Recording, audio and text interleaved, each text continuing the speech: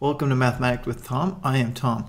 And today we're going to talk about the null and particular solutions to a differential equation. So let's begin.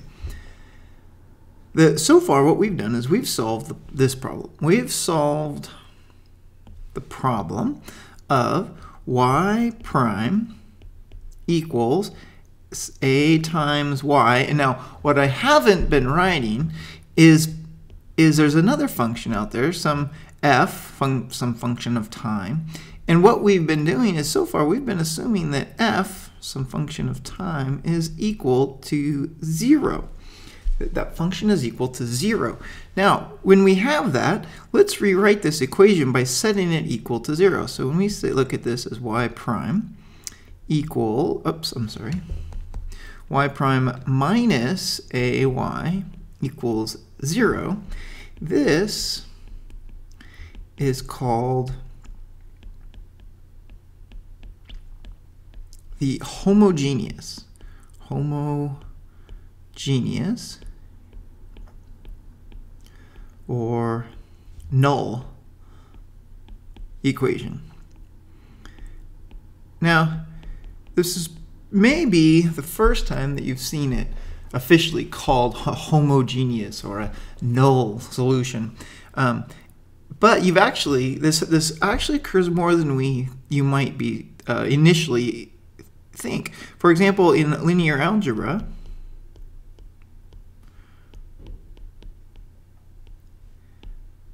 linear algebra, you solve this problem. A, some matrix, times some vector x equals the zero vector. And this is also called the homogeneous or null, or null equation. And you find your solution. Your solution is called x n. It's those x's which make that problem true. And you've probably solved a problem like this. Um, ax, a quadratic equation, ax squared plus bx plus c. And the only way to solve that using the quadratic formula is when that equals 0. So dealing with a 0 on one side of the equation is actually quite common. Now we're just using some formal language. Now, what does it mean to be a solution? So um, if, if this is a, so let's do this. Let y null be this, the null solution.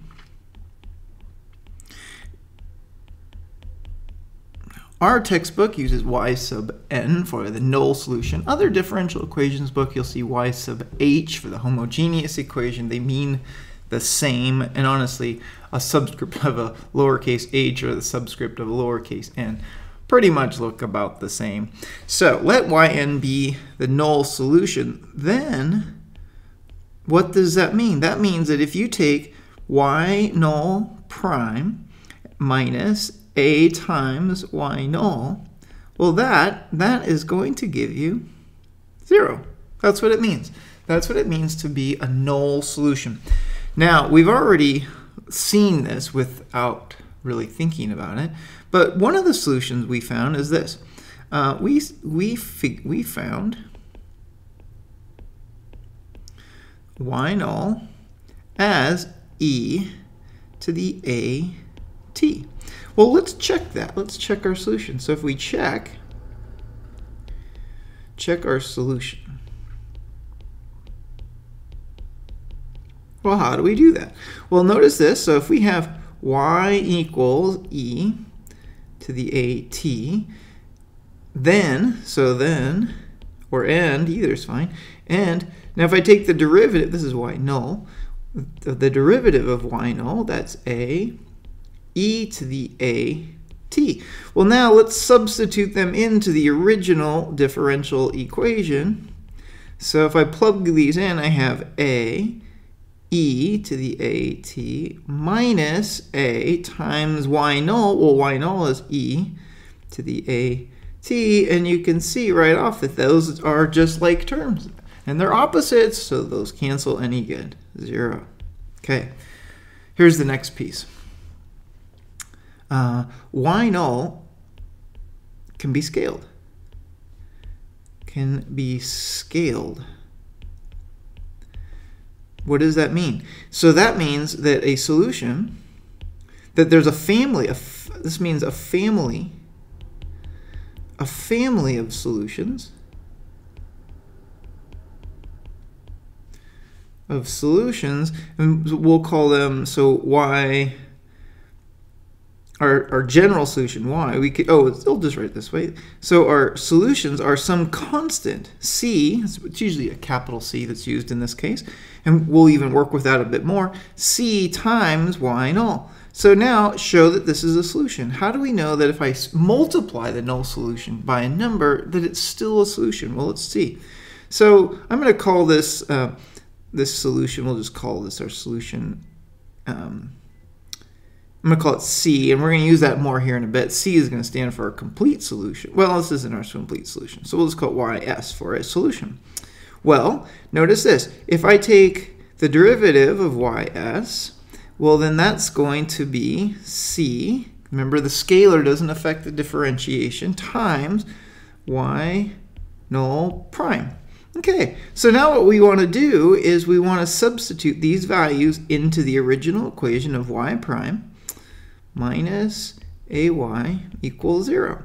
Well, y prime, y prime is cy prime n, so c y prime n minus a times c y null.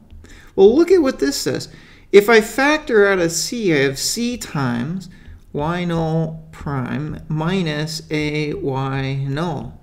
But look at this. Look at what we just said. If this is this, this piece right here, if that's the null solution, well, it is the null solution. Well, then what does that mean? That means it equals 0. So this is just c times 0. In other words, this is 0.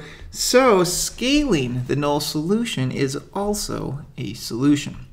Okay, that's the first half of what we needed, the null solution. Now let's add one more piece of that, the particular solution. So I'm going to go on to the here. Now the particular, see, let, let y sub p be the particular solution. A particular solution And here's the key part, and this arises, or actually what this is, I should be even more clear. This, this is, and y particular arises, arises when f, that input function, when f is not zero. Okay, so if that's a solution, then this means, what this means is this means that y particular prime minus a times y particular equals whatever f is. Okay, that's what that means. So that's a true, so this is a true statement right here, true statement.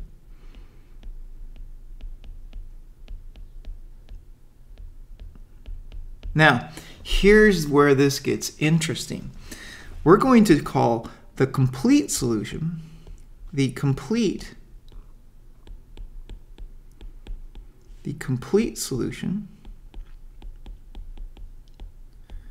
is yc and it equals y particular oops I'm going to write it this way sorry be more consistent. It's usually the null solution. Well, it's C, some family of null solutions, plus our particular solution. So all I did now is I added those two together. This is called the principle of superposition. Superposition. Which says that you can add the null and the particular solutions. Let's see if, in fact, that is really a solution. So we're going to check check that YC is a solution. Well, how are we going to do that? Um, what we do is we say, all right, well, let's take y complete, and we need to take its derivative. Well, that's going to be a constant times the y null prime plus the y particular prime. Now what we do is we substitute, substitute into our original equation, our initial, our original equation.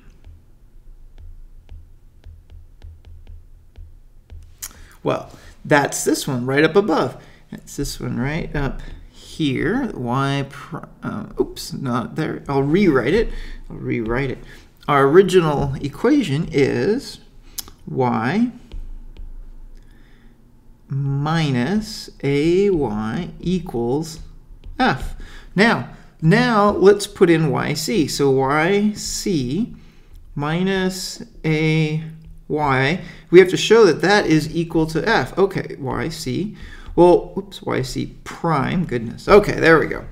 So yc prime, well, this is going to be c times, I'll put parentheses, times y null prime plus y particular prime minus a times y complete, y complete is c, yn plus y particular. And I'm just, what I'm doing is I'm referencing this work over here on the left. These are these two pieces. We're just substituting them in. Okay. Now, what does this equal? I'm going to regroup this. I'm going to regroup this as by null and by particular solutions as C, y null prime minus A, C, y null plus y particular prime minus a times y particular. Oh, look at what we've just discovered. This is where we started because this first piece right here, well, that's just the solution, that's the null equation. Let me go back and I'll show you where that was. That was, that was right here. We said that, that, whoops, we said Right here, this is where we said that that is the solution. It's just zero, okay? So let's go back. Let's turn that off. Let's go back over here. Well, this is just zero. Plus, plus, well, what is y prime minus, or y particular prime minus ay particular? Well, that comes from right over here because y particular is the particular solution. So this piece just equals the function f 0 plus f, this is f. And that is the complete solution to a first order linear differential equation. And we write this, that y prime minus ay equals f has the, com the complete solution